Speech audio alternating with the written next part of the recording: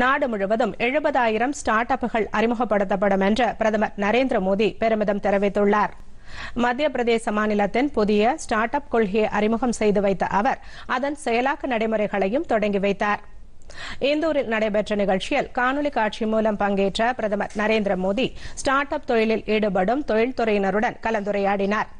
அப்போது அவர்கள் சந்தித்து வரும் பிரச்சினைகள் சவால்கள் ஆகியவற்றை பிரதமர் கேட்டறிந்தார். நிகழ்ச்சியில் பேசிய பிரதமர் நரேந்திர மோடி கடந்த எட்டு ஆண்டுகளுக்கு முன்பு நானூறு ஸ்டார்ட் அப்புகள் மட்டுமே இருந்ததாக கூறினார். ஆனால் தற்போது நாடு முழுவதும் எழுபதாயிரம் அங்கீகரிக்கப்பட்ட ஸ்டார்ட் அப்புகள் இயங்கி வருவதாக தெரிவித்த பிரதமர் உலக அளவில் இந்தியா வேகமாக முன்னேறி வருவதற்கு இது முன்னுதாரணம் என்றும் கூறினார். மெட்ரோ நகரங்களில் மட்டுமல்லாமல் மாநகராட்சி நகராட்சி உள்ளிட்ட நகரங்களிலும் ஸ்டார்ட் அப்புகள் இயங்கி வருவதாகவும் பிரதமர் தெரிவித்தார். ஸ்டார்ட் அப்கள் மூலம் பல்வேறு பிரச்சினைகளுக்கு எளிதில் தீர்வு காணப்பட்டு வருவதாகவும் தொழில் நிறுவனங்கள் தங்களுடைய பணிகளை எளிமைப்படுத்திக் கொள்ளவும் இளைஞர் சக்தியை முழுமையாக பயன்படுத்திக் கொள்ளவும் வாய்ப்பு உருவாகியுள்ளதாகவும் பிரதமர் கூறினார்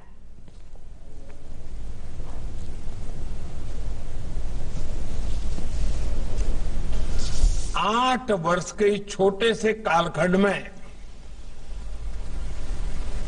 भारत में स्टार्टअप की दुनिया ही बदल चुकी है।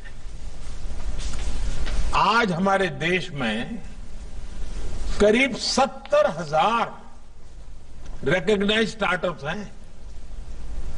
आज भारत में दुनिया का तीसरा सबसे बड़ा स्टार्टअप इकोसिस्टम है।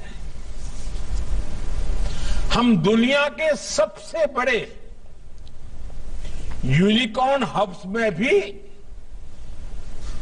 एक ताकत के रूप में उभर रहे हैं